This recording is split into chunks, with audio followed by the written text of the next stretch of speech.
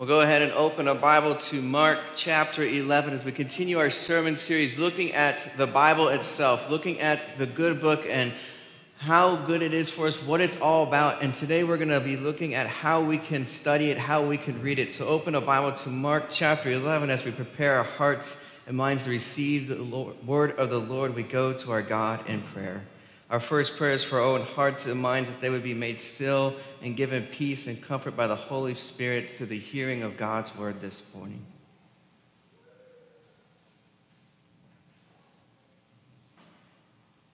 Our second prayer is for our brothers and sisters in Christ that their hearts may be encouraged and uplifted by the Holy Spirit through God's word this morning.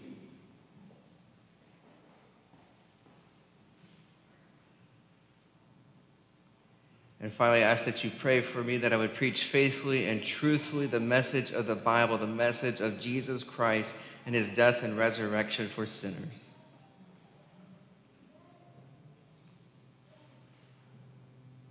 Psalm 19 says, May the words of my mouth and meditation of my heart be acceptable and pleasing to you, O Lord, my rock and my redeemer. Amen. So today, as we continue our series looking at the Bible and my encouragement to you to be in God's Word all the time and to absorbing God's Word. Today we're going to look at how to study the Bible. Now, that's a really big topic, and there could be endless amounts of steps and tips and points that I get, give to you. But for the time, for sake of time, we're just going to look at three main ideas that I want you to hold on to as you go into God's Word, as you make it part of your daily life and your daily rhythms. And so we're going to start in Mark chapter 11 and to kind of explore why is this so important for us. On the following day, when they came from Bethany, Jesus was hungry. Now, this little story about the fig tree, the following day is the day after Palm Sunday. So, this is Monday of Holy Week, and Jesus is going into Jerusalem. He's preparing to die on the cross and to suffer for our sins and then rise from the dead. And so, the day after Palm Sunday, he's hungry. And seeing in the distance a fig tree in leaf, he went to see if he could find anything on it. When Jesus came to it, he found nothing but leaves, for it was not the season for figs. And he said to it, May no one ever eat fruit from you again. And his disciples heard it. As they passed by in the morning, they saw the fig tree withered away to its roots. And Peter remembered and said to him, Rabbi, look, the fig tree that you cursed has withered. And after that, you say, Praise to you, O Christ, right? We're, we're just so excited by that Bible passage, right? No, some of you are honestly actually shaking your heads at me, no, because it's a weird story, right? You read that and you go, okay, like I could read the story of Jesus dying on the cross and I go, what? Amen. Like I, I get it, I know what it's about. This looks like Jesus was hungry, he got a little hangry, and he got mad at the fig tree and cursed it. So, the moral of the story is that you have permission from Jesus to be a little cranky when you need a snack, right? And I mean, like, all of us are hoping that's true because anybody get cranky when you need a little snack, right? But obviously, Jesus is doing something more than that here, and it's deeper than that. But my point is that when we, I tell you, oh, I want you to be in God's Word, how many of you have ever come to a story like this one or a passage that confused you and you didn't get it? And you're like, I, I want to study God's word, I want to be in it, but, but I don't understand it. And so that's what we're going to talk about today is uh, simple steps of how can I get better at understanding God's word and studying God's word. And so we're going to be looking at various scripture readings. The first is Psalm chapter 1, and this is point number 1. Go slowly. Right? Take your time. You are not going to flip open the Bible tomorrow, read one passage, and have it all figured out. And just understand everything that's ever been written in God's Word. It takes a long time to grow in our faith, to mature, but we want to stay in it and be in it because we want to be with Jesus. And so Psalm chapter 1 says, Blessed is the man who walks not in the counsel of wicked, nor stands in the way of sinners, nor sits in the seat of scoffers but verse 2 But his delight is in the law or the, the instruction, the word of God, the word of the Lord.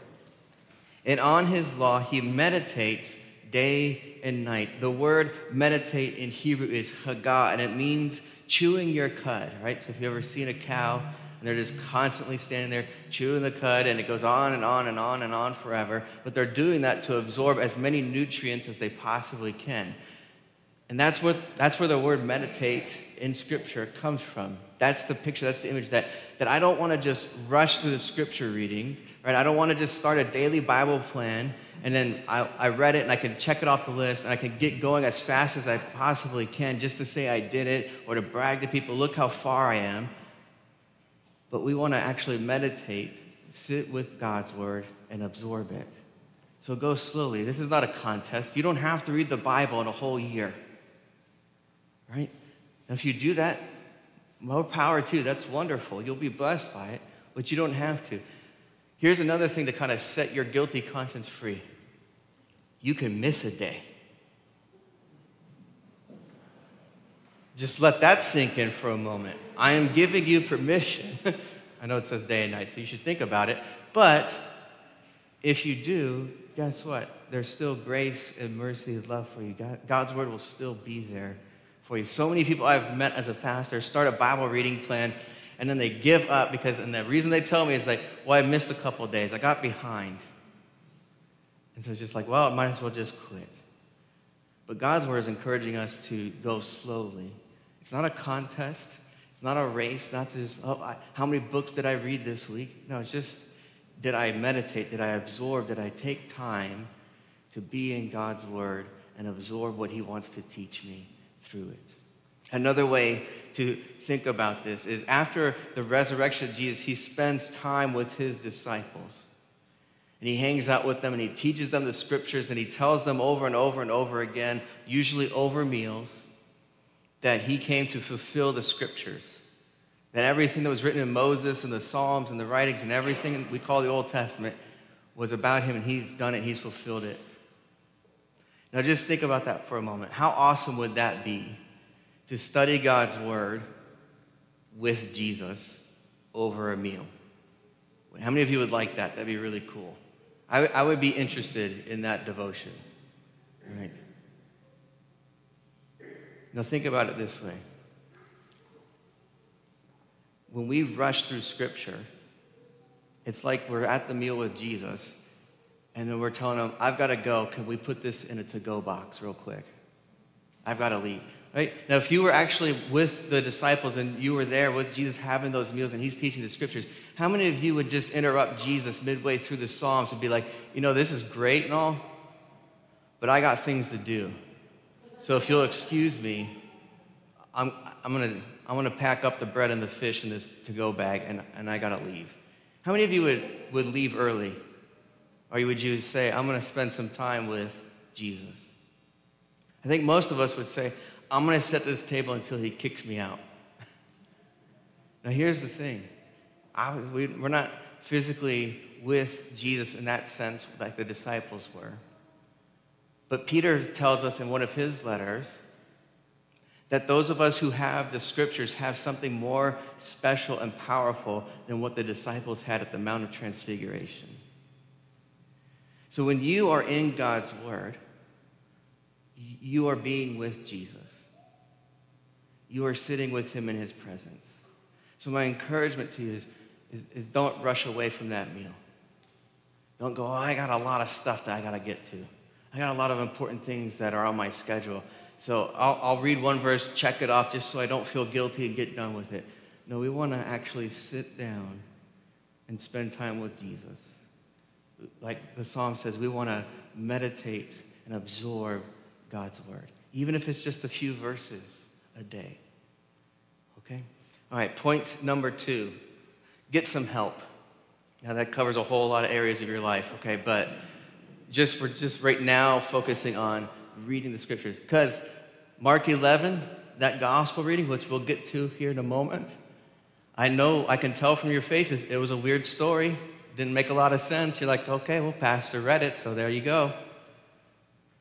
But we sometimes we need help because what happens? We read scripture and we don't always understand it. It doesn't always make sense to us. Now, one thing I want to do is encourage you in that to not give up.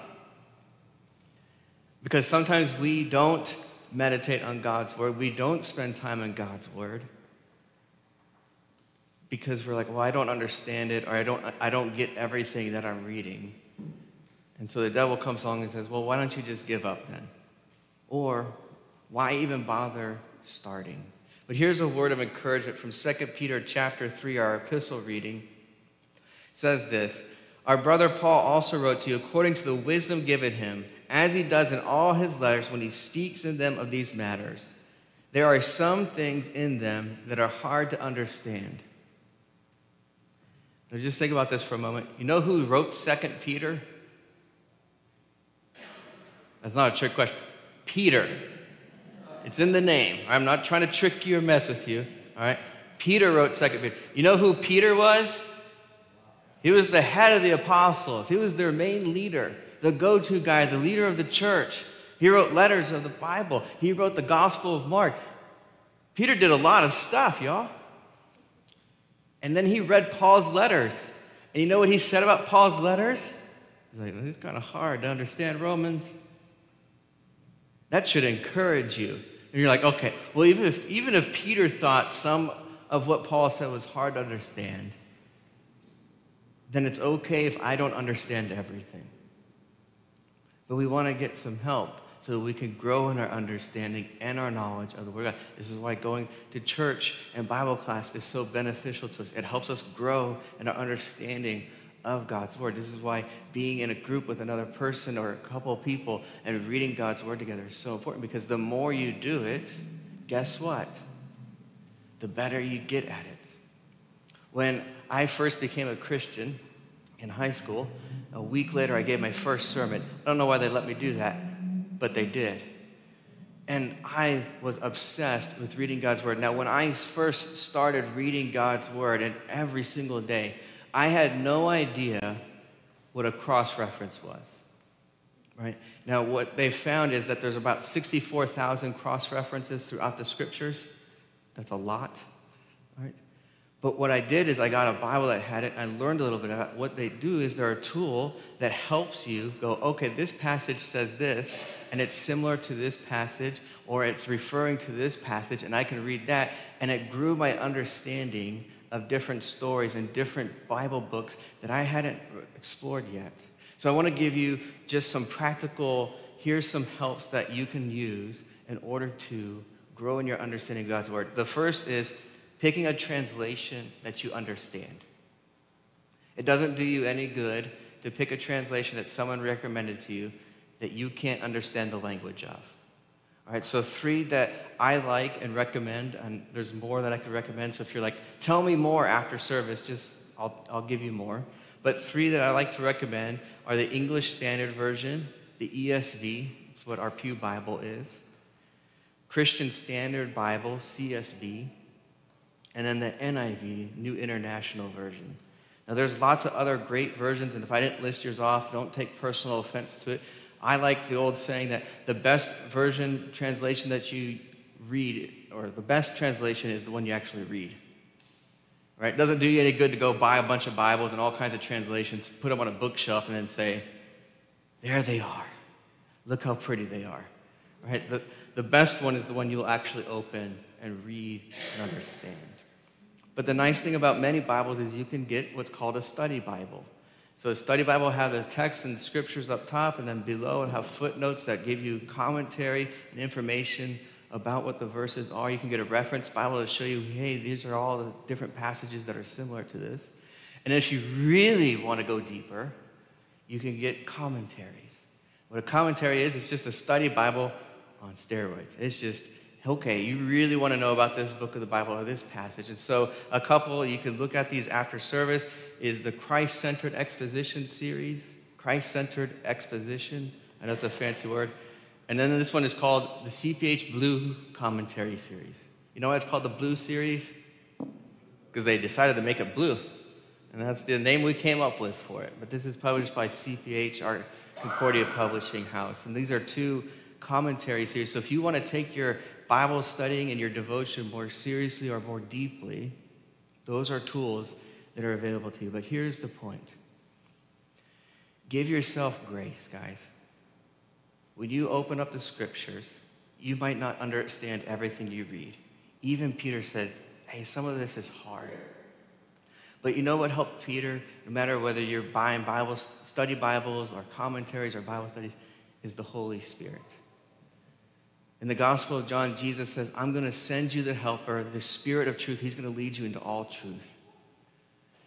When Jesus taught the disciples and they were finally starting to understand what the Bible was all about, it's all about Him, it took the Holy Spirit opening up their minds and their hearts to see that. And you, if you're a Christian, you have the Holy Spirit. So here's a prayer that I often pray when I dive into God's Word is, Holy Spirit, help me understand the truth. Because Jesus said, I'm going to send you the Holy Spirit.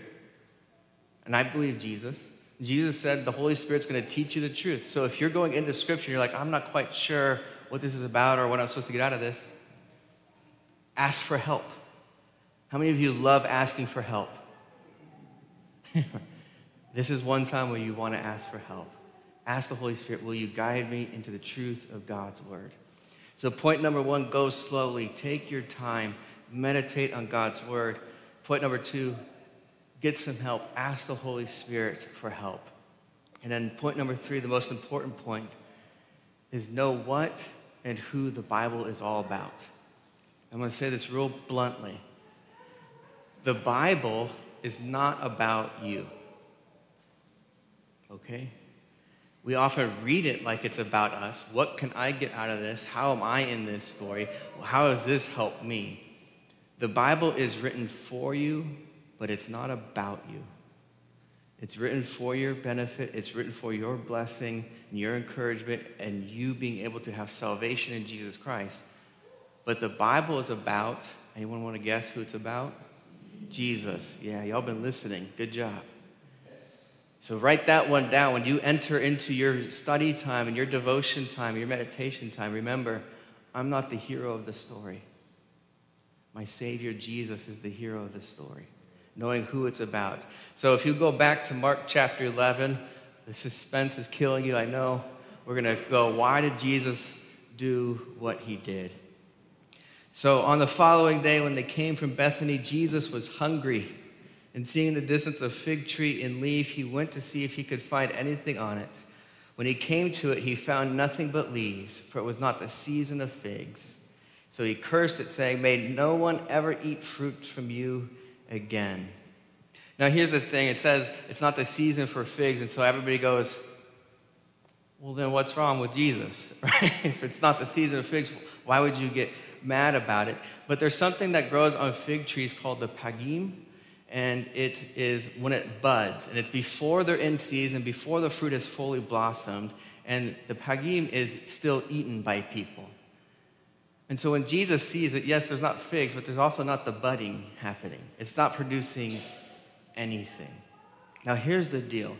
One of the ways you could read the Bible, kind of understand what's happening, is going, okay, here's a word, fig trees right? And fig leaves. And we go, when's the first time that word or that picture ever shows up in Scripture? And it helps us understand what's the image, what's the metaphor that Jesus is drawing off of. And way back in Genesis chapters 1, 2, and 3 is the first time we ever see fig leaves and fig trees.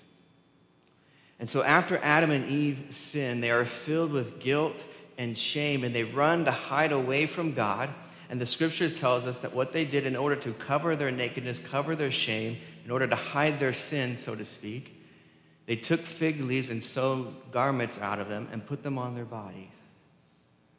But the story also goes on and tells us it didn't work because God still found them. And he asked them, Why are you hiding? And they admit it. It's because we're ashamed. We, we took the fruit and we're guilty. We've sinned. And the story ends, though, with God making the first sacrifice ever in Scripture of his own creation. He sacrifices animals and covers them with animal garments and says, I've taken away your shame and your sin. So, throughout Scripture, throughout the prophets like Hosea and Joel and Isaiah and others, fig leaves became an image for judgment upon sin. But it also became an image of judgment upon sin and, and that our, our works weren't enough to cover our own sin. Now, the context of this story is that Palm Sunday just happened, right? Everybody with the palm trees and shouting, Hosanna, and Jesus is our Savior, and this is wonderful. And in the middle of it, so that he curses the fig tree, and then the next day, he goes down to the temple and he cleanses the temple. He kicks out the money changers and all the people and all the corruption. And he kicks out everything and overturns everything that was a human tradition that was keeping people from God. And so the next day, Peter sees the fig tree and he goes, Rabbi, look, it, it's shriveled up. It's not going to produce life anymore. And Jesus in verse 22 says this have faith in God. That's a weird thing to say in response to, hey, the fig tree showed up, and Jesus goes, have faith in God. You're like, okay, great, I'll have faith. What's that got to do with the tree, though? How many of you want to know what that has to do with the tree? Right? And so here's the deal the fig tree represented all of the human efforts since Adam and Eve to cover up our own sin, to be our own heroes, to be our own saviors. And Jesus cleanses the temple of all the human traditions that kept people from God. He curses the fig tree and says, I don't want you to produce any fruit anymore because I don't want people to trust in themselves or in the human traditions for salvation. I want people to have faith and trust in God. Makes sense? He's saying, I, I don't want you to trust in yourself. I don't want you to go to the scriptures and view yourself as the own hero, your own savior anymore.